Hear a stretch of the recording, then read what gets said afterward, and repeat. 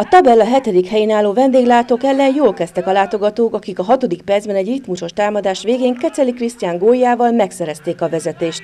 A folytatásban is Kardos Ernő edző tanítványai irányították a játékot, ám ahelyett, hogy növelték volna az előnyüket, a 24. percben gól kaptak az egyik ritka ellentámadásból. Csetibor bombájával egyenlítettek a szeddesiek, akik aztán mezőny fölint harcoltak ki, és a 45. percben Erdélyi Péter szép fejesével 2-1-re a maguk javára alakították az eredményt.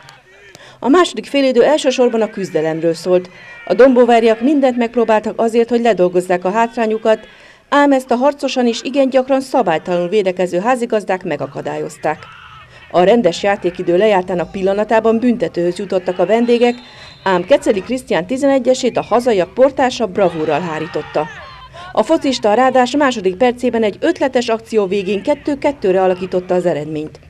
A drámai fordulatok azonban még ekkor sem értek véget, ugyanis a találkozó 95. percében a csereként pályára lépő Kovács Attila higgadtan helyezte a hálóba a labdát, amivel a DFC megszerezte a 3-2-es győzelemért járó három pontot.